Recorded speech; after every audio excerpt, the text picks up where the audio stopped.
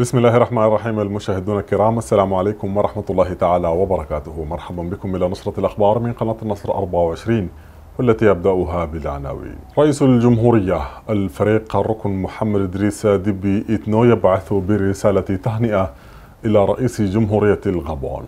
رئيس مجلس الوزراء السوداني دكتور عبد الله حمدوك يتلقى دعوة رسمية من الأمير محمد بن سلمان ولي عهد المملكة العربية السعودية. حركة طالبان تعلن العفو العام عن جميع الموظفين والمسؤولين بالنظام الأفغاني السابق. كانت هذه العناوين وإليكم التفاصيل. مرحبا بكم. بعث الفريق الركن محمد إدريس دبيتنو رئيس المجلس العسكري الانتقالي رئيس الجمهورية رأس الدولة. بعث برسالة تهنئة إلى فخامة السيد علي بونغو ديمبا رئيس جمهورية الغابون. حيث جاء فيها السيد الرئيس والأخ العزيز وبمناسبة العيد الوطني لبلدكم الجميل الغابون في السابع عشر من أغسطس 2021 يسرني أن أتقدم لكم باسم الشعب التشادي وحكومته وباسمي الخاص بأحر التهاني. إن بلدي تشاد يشيد بعلاقات التعاون والصداقة والأخوة المتميزة والقائمة بين بلدينا. وأؤكد عزمي على تعزيز التعاون وتوطيده.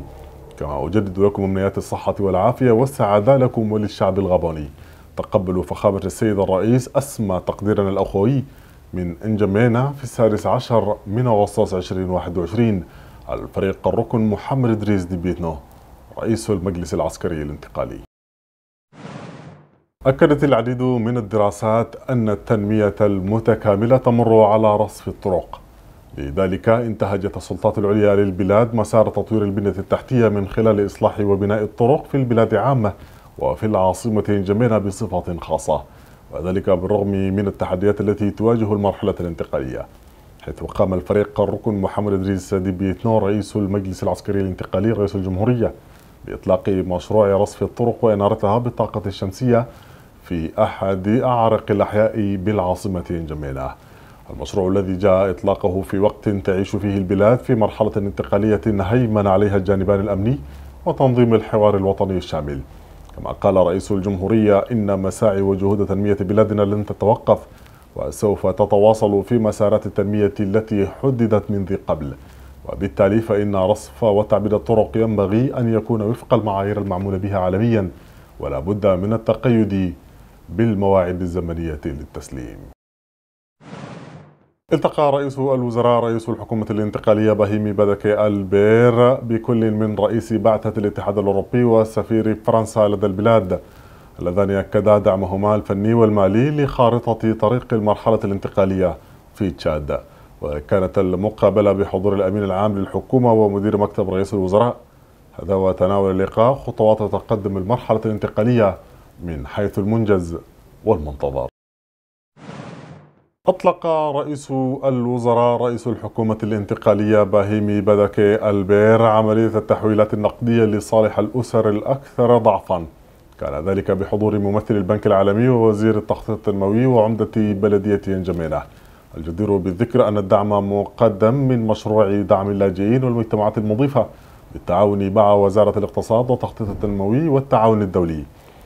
الدعم الذي خصص لأكثر من عشرين ألف عائلة من فئات الشرائح الضعيفة بالعاصمة جمينة والتي تضررت كثيرا وتدنى مستواها المعيشي بسبب جائحة كوفيد 19 وقال رئيس الوزراء إن مثل هذه البرامج تعتبر من المشاريع الناجحة والمتميزة بين الحكومة وشركائها لأنها تسهم في عملية تحسين الأوضاع الاجتماعية للفئات الضعيفة.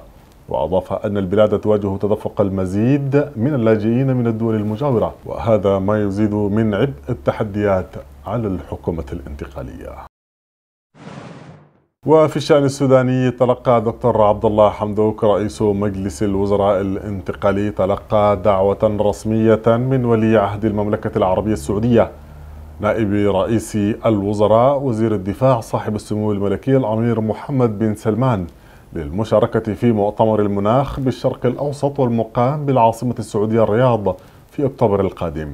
وتسلم رئيس الوزراء الدعوة خلال لقائه بمكتبه برئاسة مجلس الوزراء. سعادة السفير علي بن حسن آل جعفر سفير المملكة العربية السعودية بالسودان وذلك بحضور المهندس خالد عمر يوسف وزير شؤون مجلس الوزراء الذي نقل لرئيس الوزراء تحايا قيادة المملكة العربية السعودية. لحكومة وشعب السودان داعيا بدوام التقدم والازدهار والاستقرار بالبلاد. تجيء هذه الدعوة بغرض العمل المشترك في الإقليم لمجابهة المخاطر البيئية والتحول المناخي وخلق شرق أوسط أخضر جديد ومجابه للتصحر من جانبه طلب رئيس الوزراء من السفير السعودي نقل تحاياه لشعب وقيادة المملكة العربية السعودية متمنيا لهم دوام الرخاء والاستقرار. اختتم المدعي العام للمحكمة الجنائية الدولية السيد كريم خان زيارته للخرطوم التي استمرت أسبوعا كاملا. كانت الزيارة هي الأولى من نوعها للمدعي العام إلى السودان بصفته المدعي العام للمحكمة الجنائية الدولية. وقال بيان نظرته المحكمة الجنائية الدولية أنه أثناء الزيارة عقد عدة لقاءات مثمرة مع مسؤولين من الحكومة الانتقالية السودانية. على أعلى مستوياتها والتقى بأفراد من السلك الدبلوماسي وبممثلين من منظمات المجتمع المدني. وطلب من السلطات أن تتيح فورا الاطلاع على كل الأدلة المتصلة بتحقيقات المكتب في الحالة في دارفور. وعالميا أكد قائد الجيش البريطاني أن قوات المملكة المتحدة المتبقية في أفغانستان تتعاون مع حركة طالبان. مبديا تفاؤله إزاء مستقبل هذا البلد تحت إدارة الحركة. وأشار إلى أن الوضع في أفغانستان بعد دخول طالبان العاصمة كابول يبدو هادئا.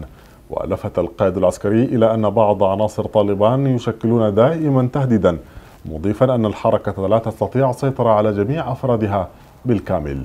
وذكر أن طالبان الآن تسيطر على الأمور بطريقة فعالة جدا وتفعل ذلك بصورة مقبولة. وتابع يجب علينا منحهم مجالا كي يظهروا أنهم يستطيعون الحكم بطريقة مختلفة. وأبدى قناعته بأن طالبان لا ترغب في أن تكون معزولة على الصعيد الدولي مضيفا أنهم تغيروا واعترفوا بأن أفغانستان تطورت خلال السنوات الماضية. في الوقت نفسه أقر بضرورة توخي أقصى درجات الحذر والحيطة. قائلا إن قوات الناتو قد تعود مجددا إلى أفغانستان إذا ظهر هناك خطر الإرهاب.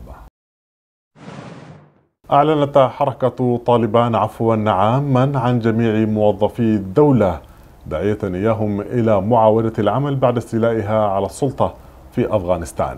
وتحدث المتحدث باسم طالبان سهيل شاهين خلال لقاء تلفزيوني قائلا لا يجب أن يكون هناك أي لبس ونؤكد لسكان كابول بأن أرواحهم وممتلكاتهم في أمان. وأضاف قيادتنا أصدرت تعليمات للقوات بأن تبقى على أبواب العاصمة ولا تقتحمها. ورفض شاهين استبعاد تطبيق الشريعة الإسلامية في البلاد في المرحلة المقبلة. وقال الأمر متروك للقضاة في المحاكم والقوانين. وسيتم تعيين القضاة وفقا لقانون الحكومة الجديدة في أفغانستان. إلى هنا تكاملت هذه النشرة من قناة النصر 24 والتي أعود أذكر بعناوينها رئيس الجمهورية الفريق الركن محمد إدريس دبي إتنو يبعث برسالة تهنئة إلى رئيس جمهورية الغابون. رئيس مجلس الوزراء السوداني دكتور عبد الله حمدوك يتلقى دعوة رسمية من الأمير محمد بن سلمان ولي عهد المملكة العربية السعودية. حركة طالبان تعلن العفو العام عن جميع الموظفين والمسؤولين بالنظام الأفغاني السابق. شكرا على حسن المتابعة. تقبلوا تحيات فريق العمل بقناة النصر 24 وإلى اللقاء.